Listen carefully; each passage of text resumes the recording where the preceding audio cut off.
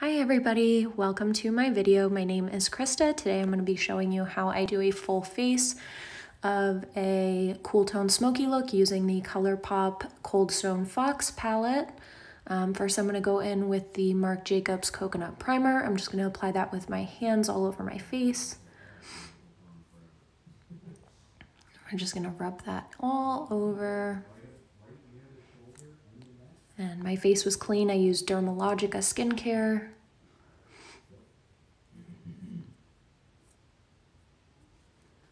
And next I'm going to go in with the Tarte Shape Tape. Um, the shade is Light Sand.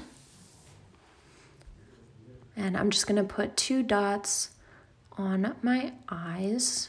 You don't need very much of this. It's very full coverage. And I'm just using that as an eyeshadow primer.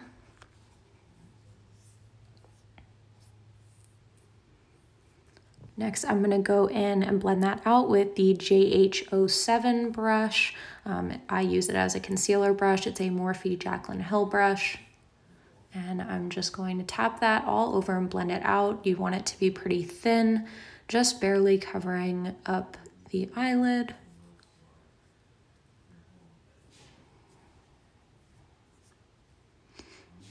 I also do blend it underneath my eyes. Again, just to act as a primer. And next I am going to use the JH05 brush. It's a small powder brush and I'm going to use Laura Mercier translucent setting powder and I'm going to set the uh, Tarte Shape Tape on my eyes. Usually I always use a powder over eyeshadow primer or concealer because I personally feel that it helps the eyeshadows blend. I know some people don't use powder, but I like to. And like I said, I'm going to be using the ColourPop Stone Cold Fox palette today. It's a cool tone palette. And I've really been liking the palette. Um, it was really good price. Um, the shadows blend very, very well. I've pretty much been using it nonstop since I got it about two months ago.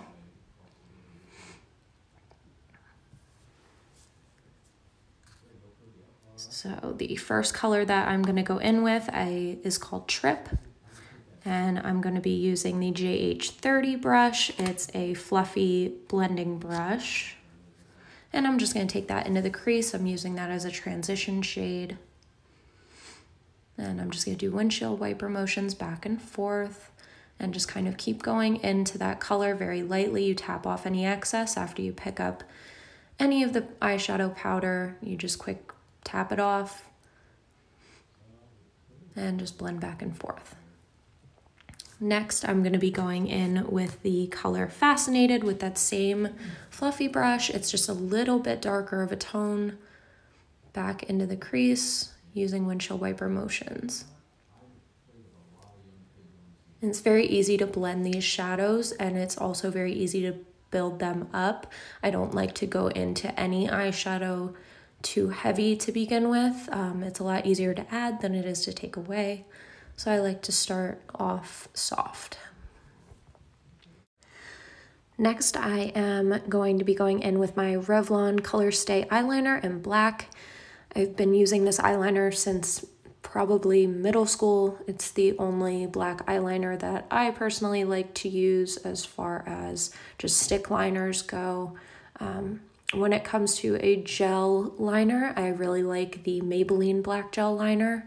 That personally works really good for me, but with anything in the waterline or if you want a retractable pencil liner, um, I really suggest the Revlon Color Stay in black.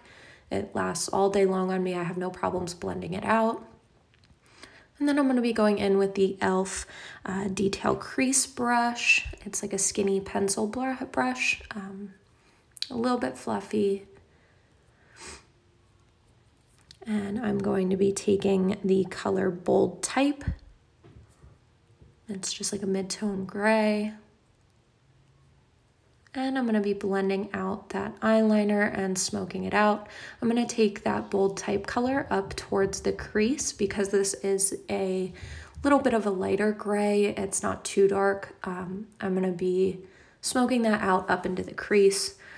We are going to be going darker as we go along. Um, with the darker shades, we are going to keep getting closer and closer down to the lash line. But because this is the lightest color, you're going to take that up into the crease towards the transition color and just keep blending out.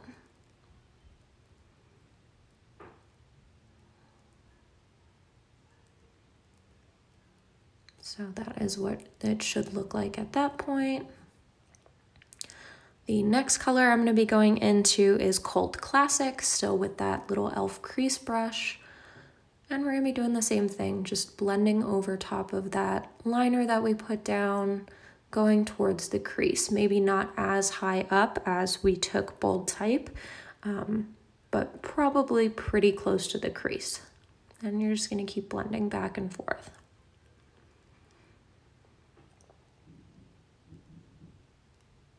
And the next color that I'm gonna go into is Drama Mama. And we're getting a little bit darker. That's a pretty dark uh, brownish gray. And with this color, you're not gonna go up into the crease. Um, you're gonna stay probably about halfway between the lash line and the crease just to keep the darkness closer to the lash line. And that's what it should look like when you're done. And the next brush that I am taking is a Jessup short shader brush. I believe I got this brush off of like eBay or something years ago. It came in a set. It's supposed to be like a Sigma dupe set. Um, but with this, I am taking the color Rock Bottom and I'm keeping that right along the lash line. Rock Bottom is a black color and we're going to keep that as close to the lash line as we can. And that's what the top of the lid should look like when you're done.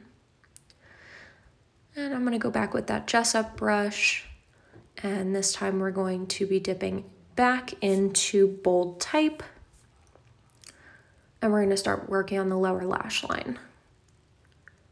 So we're just applying that color along the lower lash line, blending out the eyeliner that we put in the waterline.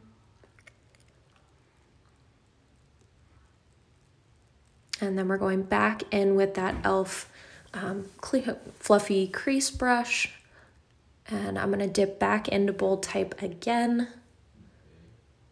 just to blend everything out a little bit more and smoke it along the lower lash line a little bit more.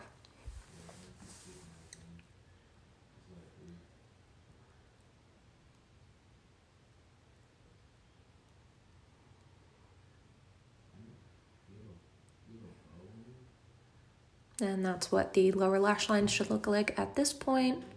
I'm just gonna keep going back and forth between that Jessup brush and that e.l.f. brush and just going darker again, um, going down into Cult Classic. And I'm gonna use that flat shader brush just to apply the color, just to get it along the lower lash line as tight as I can. And then I go back in with the e.l.f. brush right after just to blend it out. And I am wiping off the e.l.f. brush in between each time. So every time after I use the Jessup brush and apply the color, I'm using a, the clean e.l.f. brush to blend it back out.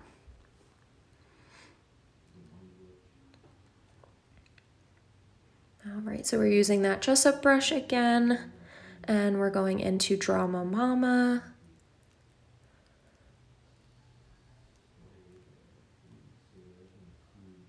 And sticking pretty tight to the lower lash line. And again, blending out.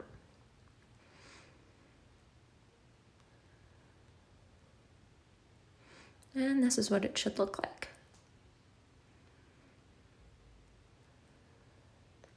And then we're gonna take that Revlon eyeliner again and go along the lower waterline, about halfway through again. I never take any of these colors in towards the inner corner or anything. I like to keep everything towards the outer part of my eye. And then we're going back in with that big fluffy uh, JH30 brush again, and I'm just kind of blending everything out just to make sure there's no harsh lines. Everything is blended together. I'm also going along the lower lash line and blending out with that same big fluffy brush. And next I'm going to be putting lashes on. Those are the Ardell Mega Volume. I believe they're the Demi Wispies.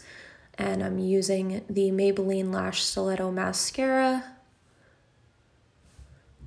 And I'm applying the lashes with um, the Kiss adhesive.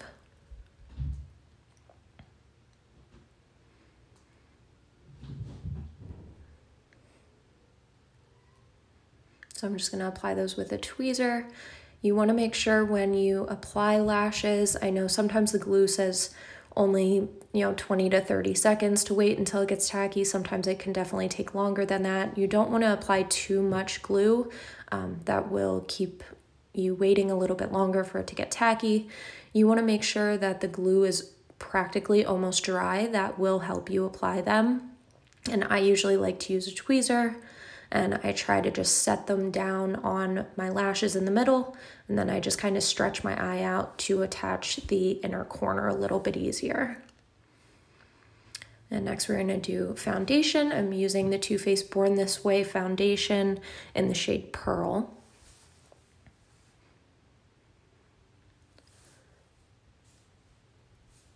And I'm just gonna take an e.l.f. Uh, flat powder brush. I know it's a powder brush, but I've always liked to use it for foundation. I feel it's like the perfect density, at least for me. It's not too dense, it's not too fluffy. And I just dot that all over my face and just proceed to blend out in circular motions. I kind of go between tapping and blending I like to start out with blending in circular motions just to kind of get everything evened out and then I will go in where I have more redness like around my chin, around my nose, um, my forehead and I will actually tap the product in. You do end up getting heavier coverage if you tap versus um, swirling and blending like that. So if you have any redness or anything that you need to cover, you would want to tap the product in there um, just to get the heavier coverage. And I always try to bring it down my neck. A lot of times you can see some people walking around with their foundation doesn't match their neck. you don't want any harsh lines, so make sure you blend everything out. And that's what that should look like. And I'm going back in with the Tarte Shape Tape and again, that is in the color Light Sand. And I'm just going to do a little bit of highlighting. And again, this is a very full coverage concealer. You don't need a lot of it. So I just do a couple of dots, a little bit under my eyes, along my chin and my forehead. This is usually where I need the most coverage, where my redness shows through. And I'm going back in with that JH07 concealer brush and just blending everything out. Again, we're doing more of a tapping motion than a swirling motion. If you're gonna bother putting concealer, you want the coverage there, usually. Um, so if you tap the product in versus just kind of rubbing it all over, you'll get a heavier coverage.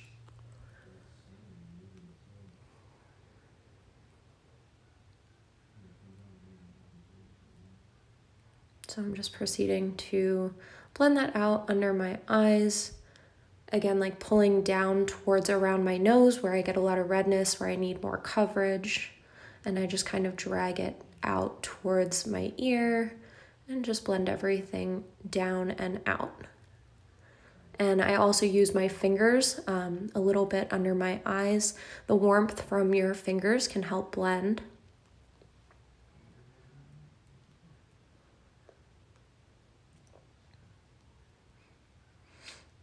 And I'm just gonna kind of keep blending everything together. Usually I'll take a little bit of the leftover concealer product and go around my mouth.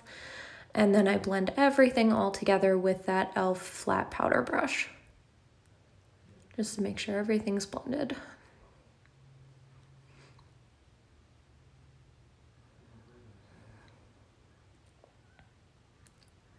And that's what we should look like after.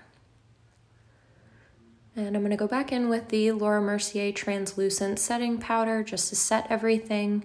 And I'm going to be using the JH05 brush again, um, that small powder brush.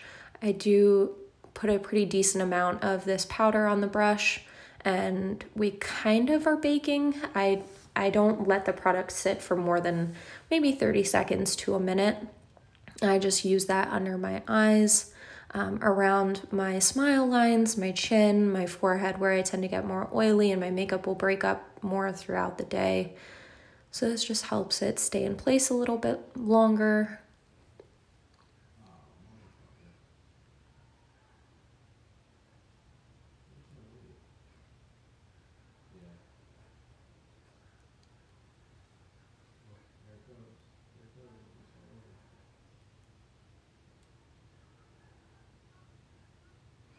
And after that, I'm gonna go in with the JH01. It's a big powder brush. Um, I never applied any powder to my cheeks or um, my neck or anything like that. I'm just taking the existing baking powder that I had put on already and just kind of swirling everything together. It should be enough um, for less oilier areas. And then I'm gonna be using the Kat Von D Shade and Light palette. I'm not sure if they make this palette anymore. It's pretty old. I should probably throw it out. and I'm using an e.l.f. sculpting face brush and going in with the lightest contour shade in that palette and just tapping off the excess. And we're just gonna do a little bit of contouring. Um, I just hold the brush against my face, um, more of, I'm holding it more like vertically but horizontally against my face and a little bit above I know a lot of people do the the sucking in face so that you can find where your cheekbones are. I go a little bit above where that line would be if you were to suck your cheeks in. I go a little bit above. It helps lift your cheekbones. And that's what that should look like when you're done. And then I do apply a little bit of that powder along my nose, just the sides of my nose and a little bit underneath.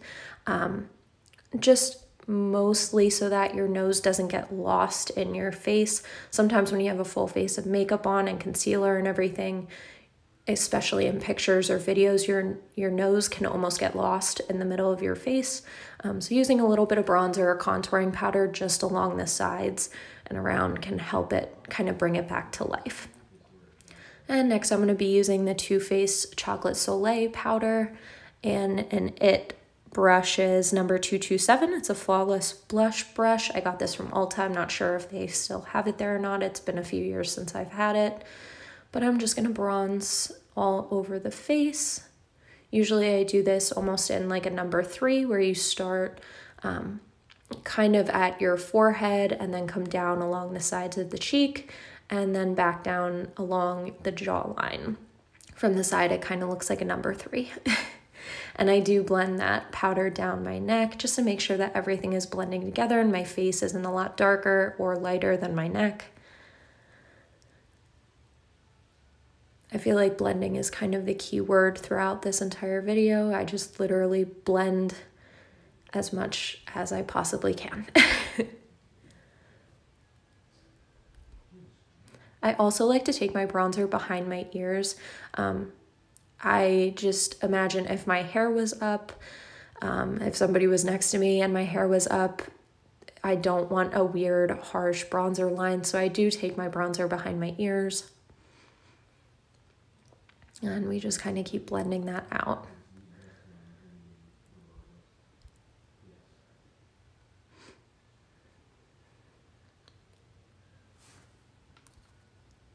And next I'm going to be taking the um, JH05, that small powder brush. I didn't apply any more translucent powder. I'm just using what's left over on that brush just to kind of clean up along the jawline to make that contour look a little bit sharper and just kind of blend everything together.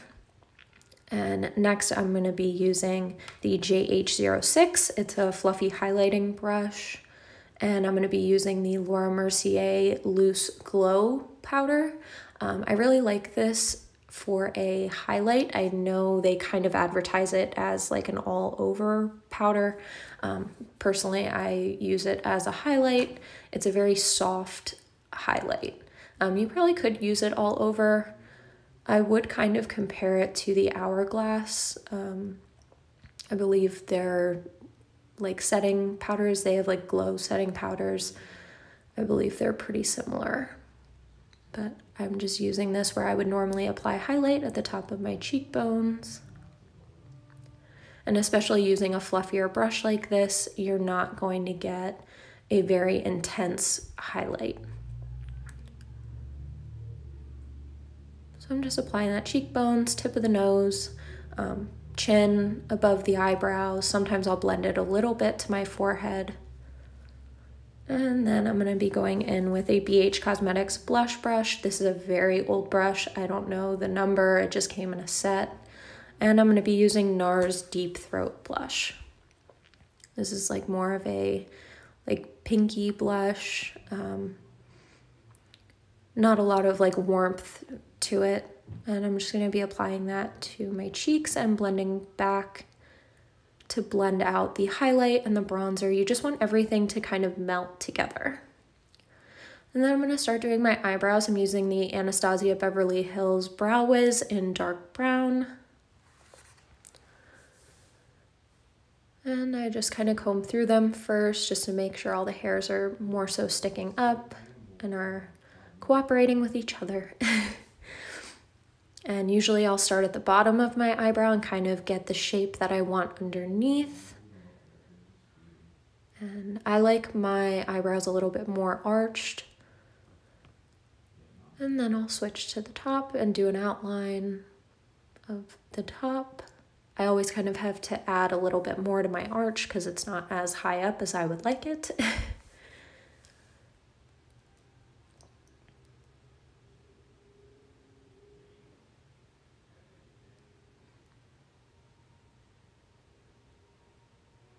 And then I will stop my tail a little bit shorter than where I actually want it to end up.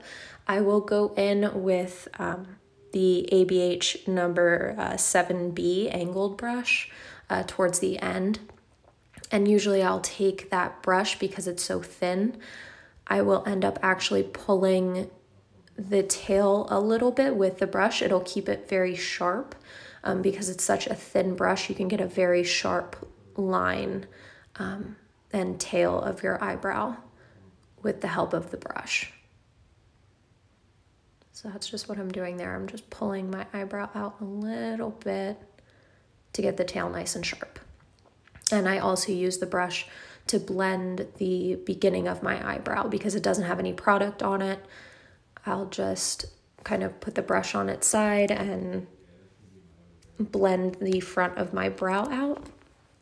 And here I was just showing how my brow wiz ends up getting kind of pointy after you fill in your eyebrows. It kind of has like an angled shape to it. The pointy side I use to make tiny little hair-like strokes just in the front of my eyebrow. And then I'll brush it back out with the spoolie.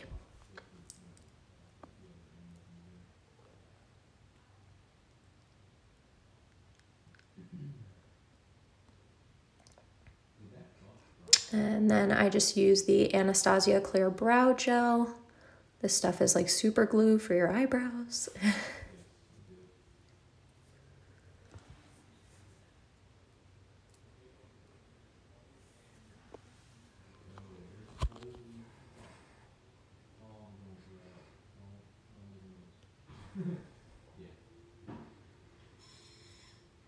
And this is the final look.